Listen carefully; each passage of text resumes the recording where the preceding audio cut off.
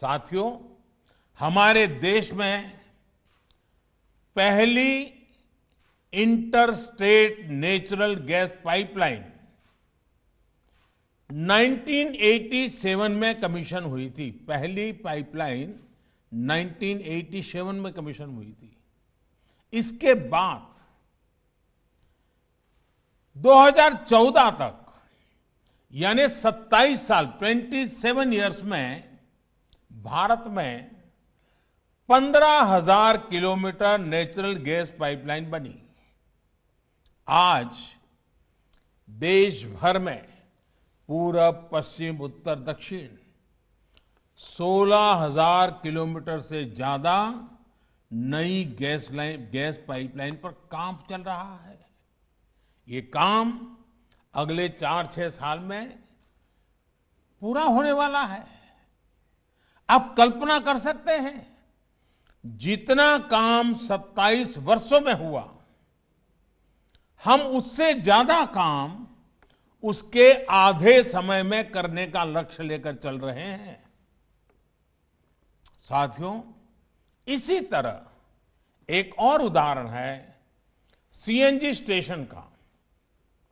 हमारे देश में पहला सीएनजी स्टेशन 1992 के आसपास शुरू हुआ था।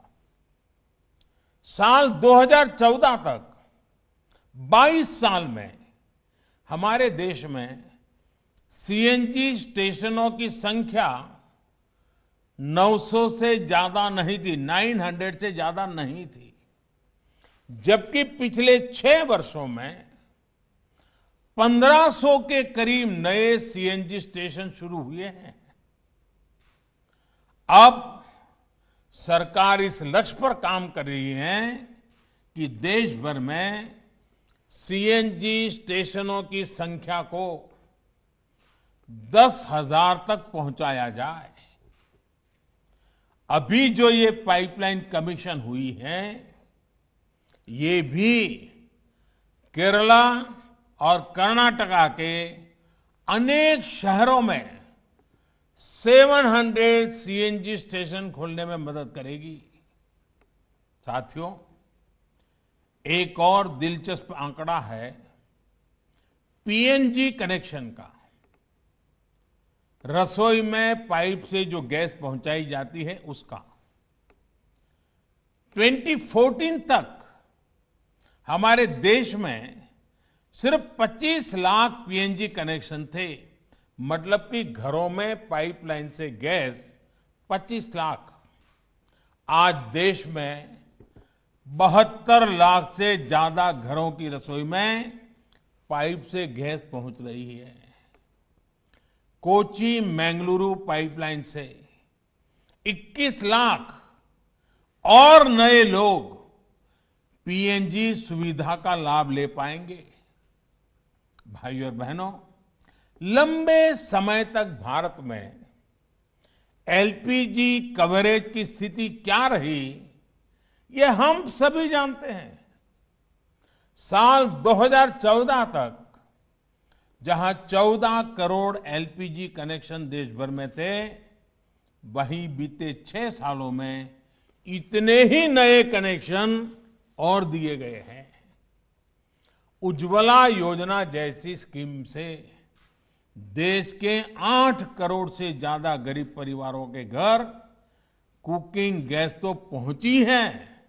साथ ही इससे एलपीजी से जुड़ा इंफ्रास्ट्रक्चर भी देश में मज़बूत हुआ है।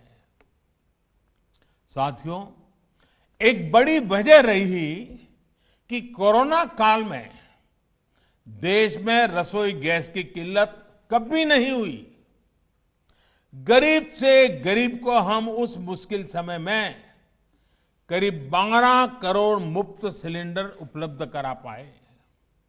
साथियों, सरकार के इन प्रयासों का, इतनी तेज़ी से किए जा रहे कार्यों का एक और प्रभाव हुआ है। इसकी चर्चा उतनी हो नहीं पाती। याद करिए हमारे यहाँ केरोसिन को लेकर कितनी लंबी लंबी लाइनें लगा करती थी।